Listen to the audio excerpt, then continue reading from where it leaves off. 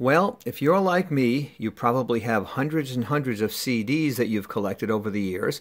And in my case, I have over 200 CDs from local artists, musicians, and singers here in eastern Kentucky.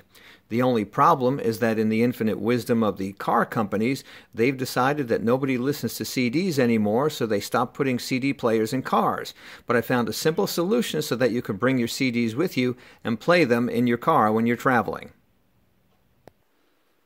All you need are three simple pieces of equipment. The first thing is a portable CD player. Got this one in Best Buy for $19.95, but I've seen it as low as $14.95.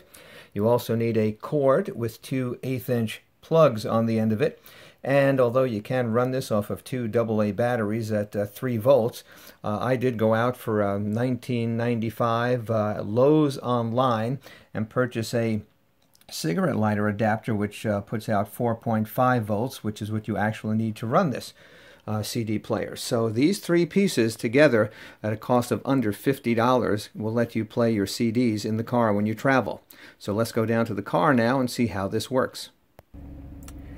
So here we are in the car and I've got the cigarette lighter plug already plugged into the uh, system and as far as the eighth inch plugs one of them goes into where it says line out, and the other side we're going to take and we're going to put it into the jack in the car. See if we can get this here. Right there. And this is now all set up. The radio is on, and all I have to do now is press play on the CD player.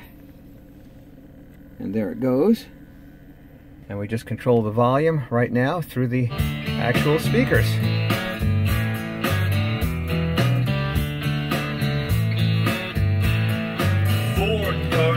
So we've got a 1995 CD player, we've got a 1995 adapter, and the patch cord can run any place from 8 or $9 to uh, $15 depending on what you got.